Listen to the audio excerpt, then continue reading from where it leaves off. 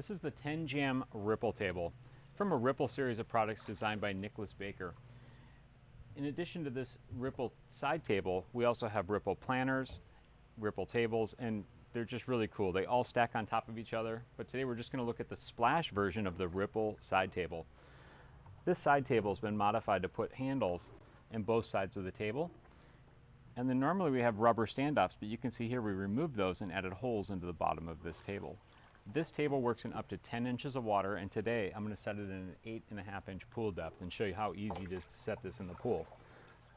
Now this one, because of the handles, you could go, you could uh, get it uh, full faster by putting the handles under the water, like so, or you could just stand straight up and just wait for the water to come in through the bottom holes.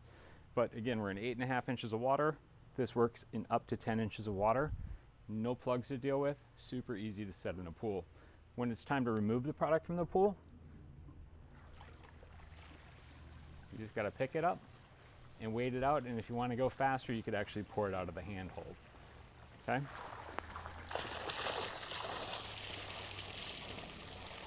There you go.